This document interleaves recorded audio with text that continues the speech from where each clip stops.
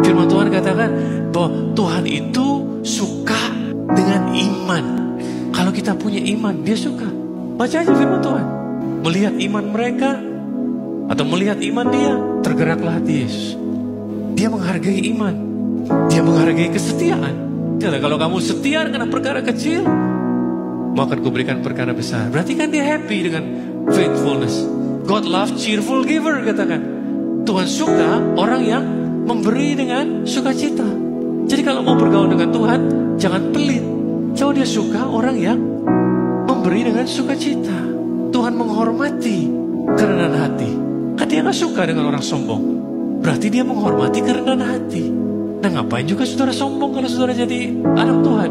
Saudara harusnya jadi orang yang rendah hati. Tuhan adalah Tuhan yang mencintai keadilan. He love justice. Kita juga harus cinta apa yang Tuhan cinta. Tuhan cinta, Tuhan senang dengan obedience, ketaatan. Dikatakan obedience is better than sacrifice.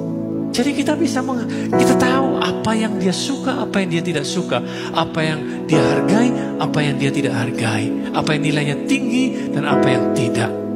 Sehingga kita juga tahu what to expect from him. Apa yang kita bisa harapkan dari dia dan apa yang tidak kita harapkan dari dia.